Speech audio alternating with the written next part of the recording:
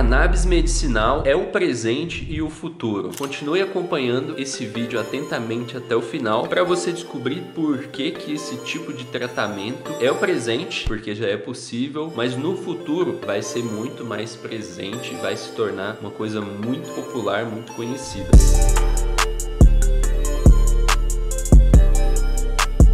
Para você que ainda não me conhece, o meu nome é Jean Silva, sou fundador da Plantando Bem e hoje eu quero trocar uma ideia com você a respeito da cannabis medicinal, que tem algum tempo que você já até ouve falar aqui no Brasil, já começou a ganhar uma certa fama, mas que vai se tornar cada vez mais presente para tratamentos como ajudar a tratar ansiedade, depressão, autismo, dores crônicas. Então, esse tipo de tratamento com cannabis medicinal é o presente e o futuro, porque é um tratamento extremamente eficiente, natural, barato quando a pessoa cultiva em casa ou quando o país incentiva o cultivo, incentiva a produção própria, é relativamente barato produzir óleo. É natural, você consegue produzir sem aditivo químico nenhum. Você faz um remédio, consegue tratar vários tipos de doença. Então é o futuro. Porém, já está presente, você já consegue se tratar com cannabis medicinal no Brasil. Muita gente tem essa dúvida, pô, mas é, ainda é proibido, não sei o que. Mas na verdade, não. Todo o sistema em torno de cannabis medicinal já é legalizado, permitido por lei. A única parte da cadeia produtiva que ainda não é regulamentada, legalizada, é o cultivo, que na minha opinião é a maior cagada que um político pode fazer na vida. É basicamente assim: o médico pode te receitar CBD, pode te receitar THC, ele ele pode te receitar flor. O óleo pode ser vendido aqui. Você pode ir na farmácia e falar: Eu quero comprar o CBD. Você tem? Dependendo da farmácia, vai ter. Geralmente tem essas grandes redes de farmácia que tem. A receita do médico já é válida. Você consegue importar, você consegue comprar internacional. Vem, chega ali, a alfândega que fiscaliza esse negócio vai fiscalizar, vai ver, vai falar: Não, tá ok, tá aprovado, receita tá aqui, então você pode importar isso. Inclusive, muita gente tem dúvida e se eu for pego com isso na rua, posso ter problema? Se você tiver com a sua receita, você não vai ter problema nenhum. Então é completamente legal. E por que que eu digo que não regulamentar o cultivo é a maior cagada que um político pode fazer? Basicamente ele fala assim: "Ah, esse remédio aí, você pode usar ele aqui no meu país, mas eu não vou produzir ele não. Vamos comprar de fora, porque nós somos um país conservador. Aqui ninguém vai produzir remédio de maconha não. Vamos comprar internacional, vamos dar dólar." É!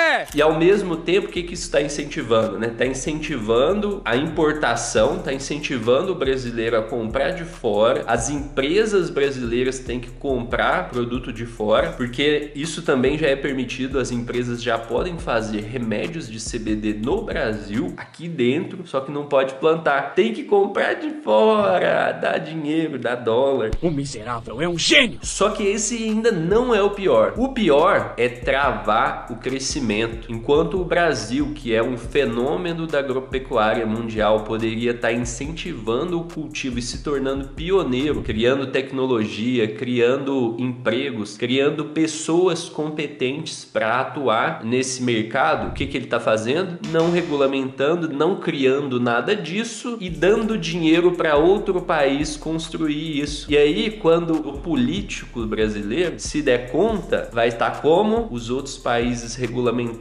Cannabis medicinal um fenômeno mundial demandado para tratamentos medicinais. E os países de fora já vão estar tá experientes, as empresas já vão ter lá suas plantações, as pessoas competentes para plantar. E aí vai liberar aqui no Brasil, aí é como se a gente estivesse largando muito atrás. Acelera Acelera muito, acelera bem, acelera. Porém, isso só está acontecendo no setor de cultivo, né? Os outros setores, por exemplo, da venda do CBD e tal, já é permitido vender CBD, produzir, como eu falei, produzir um medicamento específico. Então já é o presente, mas no futuro você pode ter certeza que a cannabis medicinal vai ocupar um lugar muito grande nos tratamentos medicinais. Pode ter né, um conservador que vai falar assim, não vai não, não sei o que Cara, mas vai, sabe por quê? Porque contra fatos não tem argumentos. E os fatos mostram que cannabis medicinal é um ótimo tratamento para várias doenças que hoje são tratados com medicamentos que fazem mais mal do que a cannabis faria. Então, contra esses fatos não tem argumentos. E aí, você concorda? Comenta aqui se você concorda. E se você está pensando, pô, eu queria uma forma mais barata de plantar, de ter a minha planta e de fazer o meu extrato. Existe uma forma que é você plantar na sua própria casa e fazer o seu extrato. Dá para fazer simples na sua casa. Se você quer descobrir mais sobre isso, vou deixar um link aqui na descrição para você saber como você pode plantar em segurança. Então, valeu, eu vejo você lá. Até mais. Grande abraço e boas colheitas.